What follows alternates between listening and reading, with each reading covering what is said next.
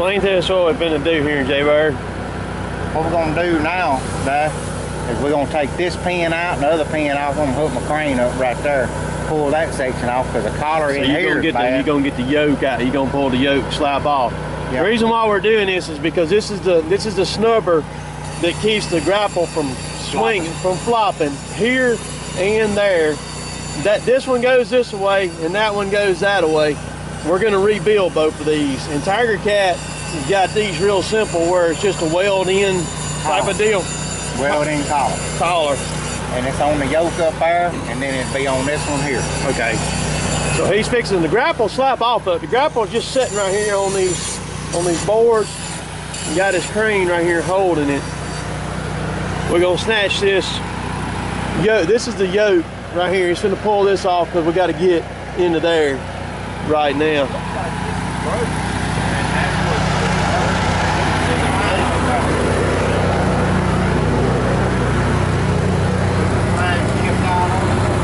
Yeah, I see that. But I think that's This is what this is what's going to be cut out right here, right? Yeah, it's going to be it's going to take it, going to take it out and put another yeah. one in there and weld it. You can see where it's broke. Yeah. Where it's starting to break out right there. But that ain't gonna matter because all that's gonna come out, Derek. Yeah. See, that's what they do. They weld it in, that, and it's done. The weld's done broke. So this was sitting there turning. spinning. That's the reason why it ain't holding it. Yeah. All right, now compare this to the difference of a John Deere. John Deere ain't nothing like this, is it? No, but you got to buy the yoke. You got to buy the yoke. You cannot replace that on a John Deere, can you? Uh so this place it, and plus it ain't as thick right there on the spline. So this is just a you just take it, blow the weld off, knock it out, set the new one in there, weld, weld it in.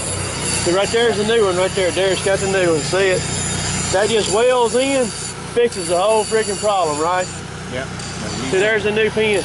What did this cost, Derek? Just set right. Uh, we ended up getting about a thousand dollars in it all. About a thousand dollars in it all. something for the pin. All right. There's the there's the brakes, the brakes right there for where yeah, you can see the old one where all the splines are stripped. There's a new one, and then there's the brakes that tighten down on it that kind of kind of keep it from swinging.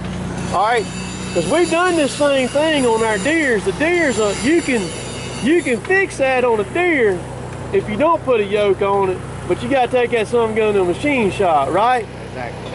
Cut a keyway in it. Cut a keyway in it. Yeah. Costly. Yep. And then we had one that had a keyway cut in it one time, and they put it in the wrong place, and we had to pull that mother back flat apart. back apart. Exactly. Painful, man. Yep. Painful.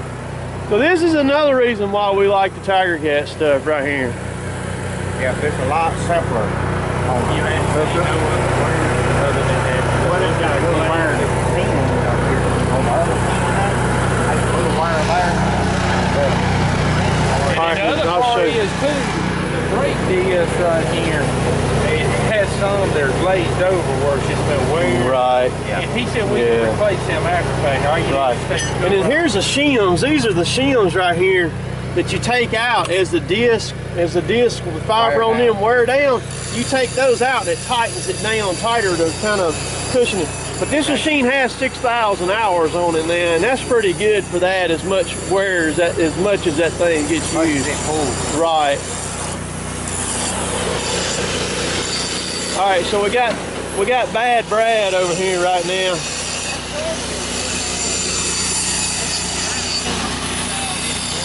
Two thousand twelve. So he's putting a lot of in. We just need a full. Yeah. This is Derek's top cylinder cover that goes on his on his tilt cylinder on his head right there. And we we built this.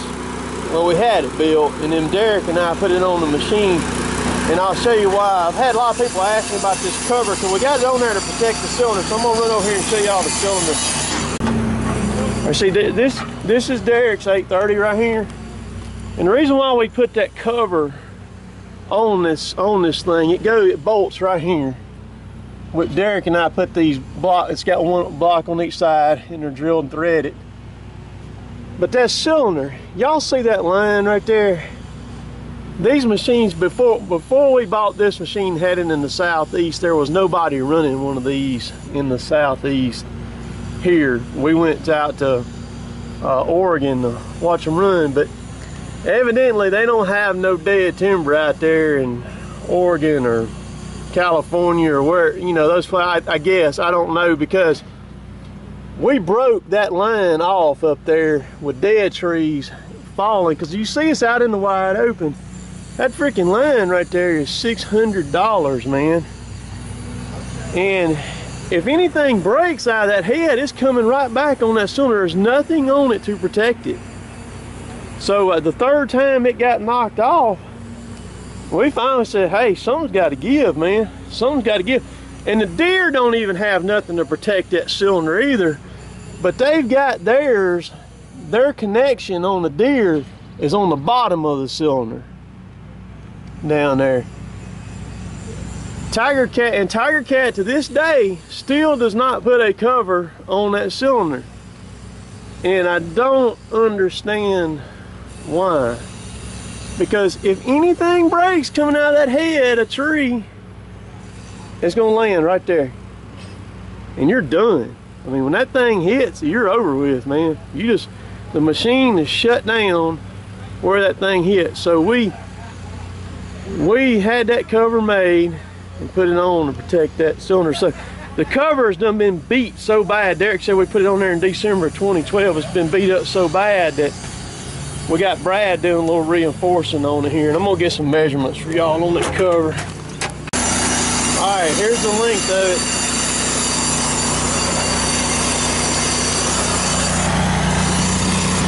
Sixty-six inches.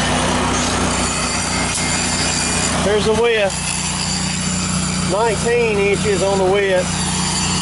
The height of it, this is on the short end right here. Hey, give it. It's 12 inches on the short end. I'm doing YouTube stuff, man. I can be on YouTube. Smile at me, baby. Look at you, you big sexy stud. The long end is uh, 25 inches. You know, even the new cutters, they're not putting those. Yeah, that's what I just I said that. You know the difference between the John Deere and the and the and the Tigercat, they put that that line under the bottom of that cylinder. It don't even have a cover on the John Deere either. Yeah, I was watching the time, uh, TimberPro, one of them, or Valmet. Yeah, they got lines coming off the side of the boom. Yeah, no, that wouldn't work for us down here and this stuff, would it? So that's what that thing, that's what that thing is. What we did was we had, it's two pieces, and we had it bent on, bent here and bent there, and then we spliced it in the middle right there. We got a lift point right there. So Brad's fixing to put some strong backs on it. That's what he's doing right here. He's cutting all this, this flat bar up right here. We finna brace this joker all on the inside, kind of beef it up. We got these covers where we can get to the lines. We can take those covers off right there there and there to get to the lines on it. I got it fixed up, man. Y'all see, y'all see Jay and Jay and Derek buy that grapple. See how big that grapple is. See, So that hadn't broke, it's spinning. That's the reason why it wouldn't hold no more. Yeah, that, see, the Yeah, are Blind pretty good. okay, that. well broke. Yeah, I see that. See, that one there and then that one up there. They both broke out. That one there got some lines messed up on it. That one there still look good, that butt. Yeah, Well, while we got it apart, we're gonna when we got the stuff, we're gonna Yeah. put it all back in there new, yeah. Where's the wheels got? Where's the wheel? right there, and all and all that grease. Hey, Hey, we'll well do. you the man, ain't you? You walk, you walk, in, you Hey, you, you pee in tall grass, don't you? That's right. Tor- Torch you get take care of all that grease. That's right. That stuff be you smell it for two weeks in your clothes after washing it. Uh-huh. Yeah. I want We're gonna measure this grapple here. I'm gonna show y'all how wide this freaking grapple is right here. Y'all see that? That's 14 foot, baby. One four. All right, Derek. That's a 25 foot grapple is what that is right there. Y'all see that? Kevin's running down there we got Jay and Brad both working on the 635 there. Well, uh, Jay's on the 635, Brad's on that cover. Kevin's piling. Of course, the trucks are gone right now. It's still real foggy. They'll be back in a little bit. When I get down there, I don't have much cell phone service at all, so I have to come up here on the hill. So I'm just gonna give y'all a bird's eye view of what all that, what it all looks like there. See, we got wood laying. There's wood laying here all the way down, around down through there too. Drags. You can see them all down through there. We're getting it, man.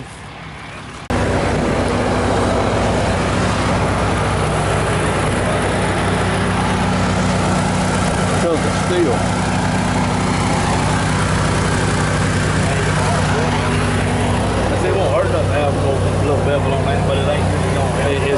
pretty good. We probably get another line out of it. It's going to be line board. I can build back up. Yeah, you see that groove in there?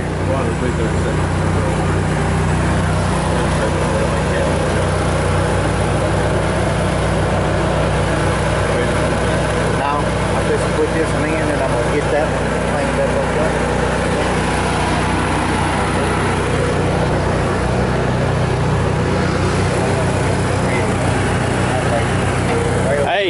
If Brad was worth a crap, he could probably weld that thing up in there and we wouldn't even need a line board, right? I'll do it. Yeah, he welded up, but I got still feel pretty out. good. Still feel pretty good. Yeah. She'll go one more round. Oh yeah, that thing's still good and tight.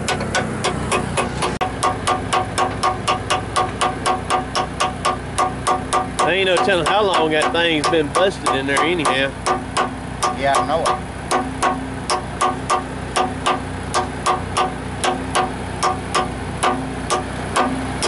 it. It is, is you have to do that stuff like that. Well, you don't have to. But man, if you want that, if you want this stuff to last, you've got to stay on top of it like that and keep it up. If you let that keep going, man, you are asking for it. I'm gonna show y'all one of the beauties of the track track loader here too. All right, you got chipping saw stuff over here and there's hardwood on the other side of that. And then those are tops, uh, pine punk wood double bunk tops. So what I've done is that pile's getting high because we're kind of out of quota. I can haul two more loads of that. So I've taken those to help Kevin out. I've taken a double stack another run in front of that run right there. So I've got a whole pile right here and I'll just keep stacking it up in front of it and I can still work back and forth on the with my loader. I can come from over yonder, just come around here, and then when I get ready to load it, I'll just set here or over here and let the truck back in and I can load right from the pile. Trucks can still turn around.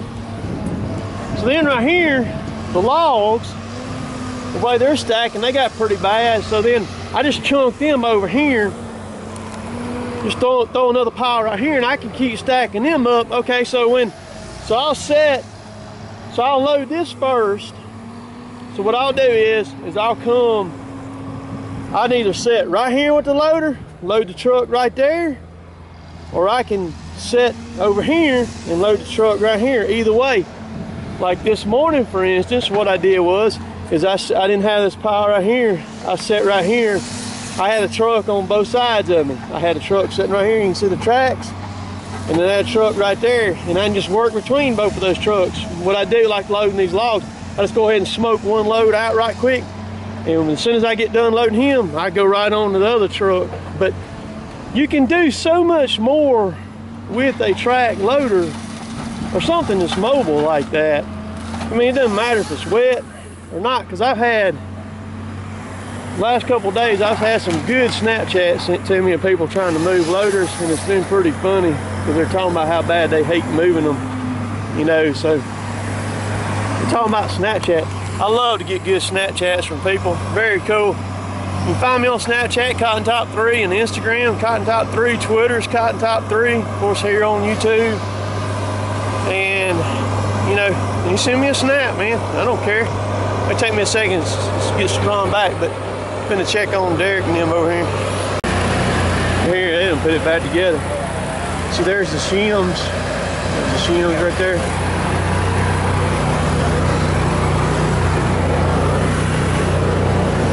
Movie making in process, man.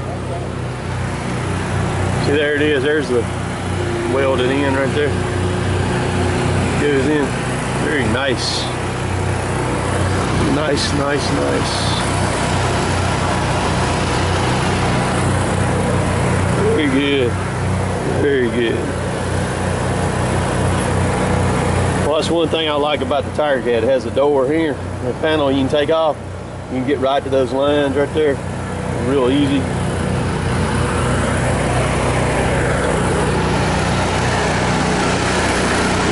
Sit here.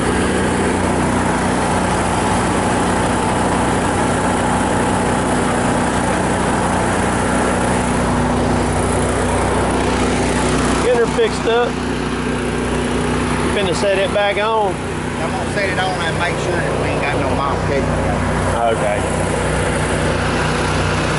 In other words, make sure you didn't screw nothing up so it don't fit no more. Okay, let's go. Hey, you a little bit you a little bit short there, Jay. Is that the is that the problem? Is that what it usually works out to The be? problem is, uh, is the operator didn't bring it over far enough. There you go. There you go. Hey, there's a socket laying right there on that arm right there.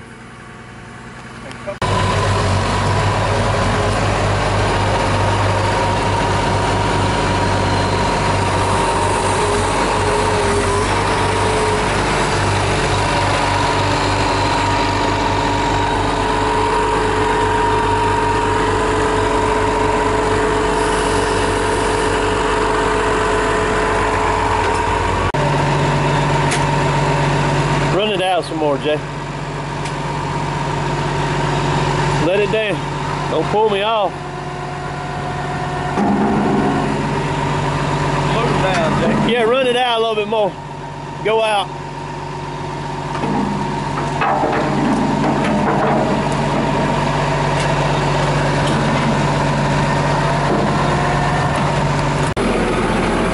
Alright, I'm gonna try to show you all this right here right quick. Finna line this thing back up right here. The object of this is is to end up with the same amount of fingers that we started with, right Brad? Right.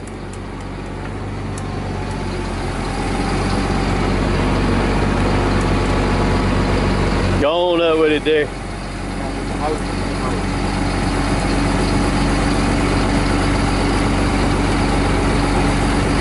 I hope. Come down with it a little bit though.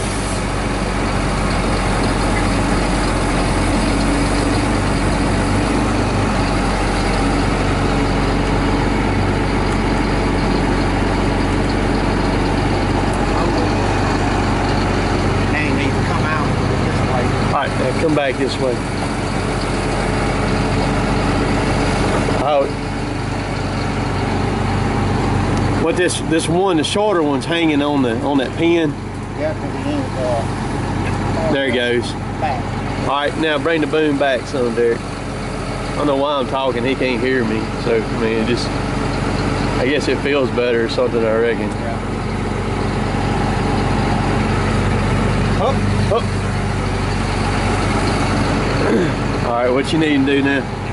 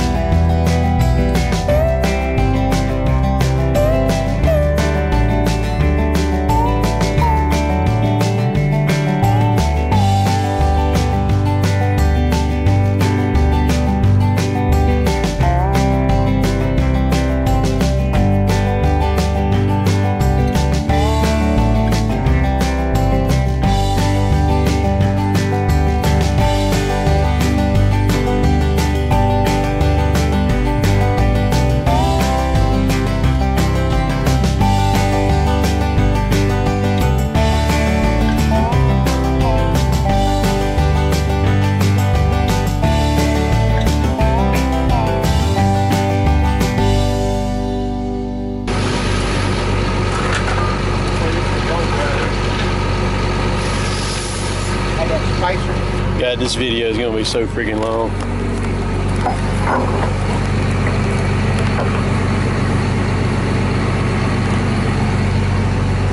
This side's in.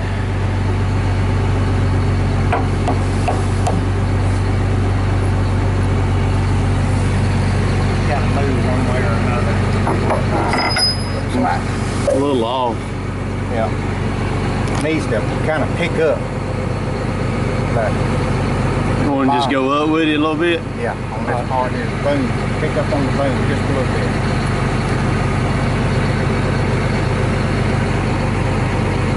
Whoop. Oh! No, it's gotta go down. Go down.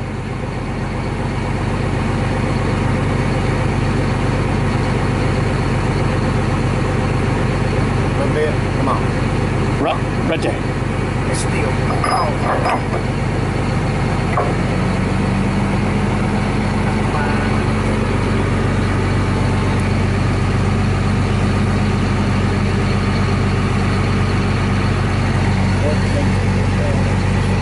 And it's all over.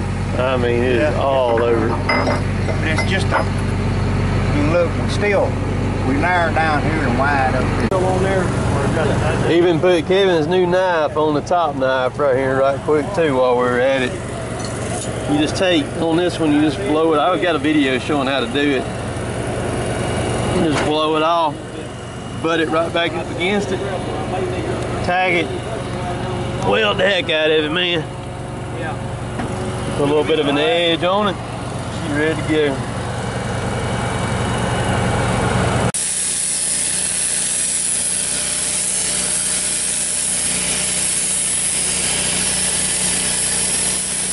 There's an arc for that right there.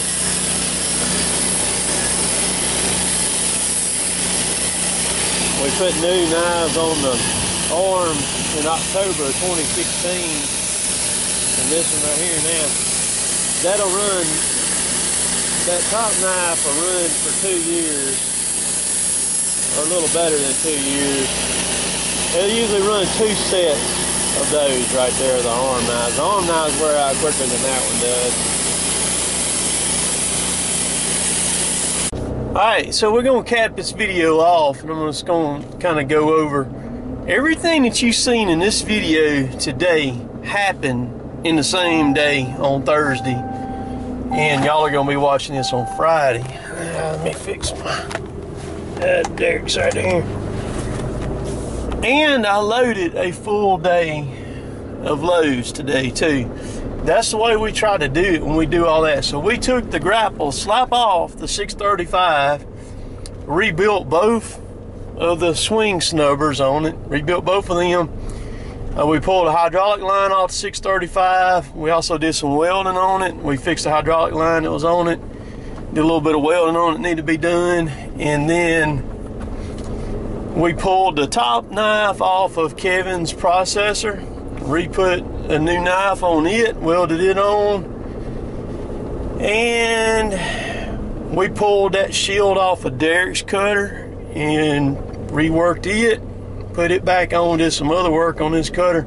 A lot of stuff that we did. And I loaded a full day of trucks today too. So if you like my stuff, subscribe to me on YouTube. You can find me, like I said earlier in the video, Snapchat, Instagram. Is all Cotton Top 3. Twitter's Cotton Top 3. And uh, so, hope y'all have. Not sure that we're going to work Friday. Uh, we're quoted out. We actually ran over the quota. They let us haul some extra loads to make today. So I don't know that we're going to work there Friday. But uh, y'all all have a good weekend and uh, be safe in whatever you do and all that good stuff like that. And like most time I usually say, later taters.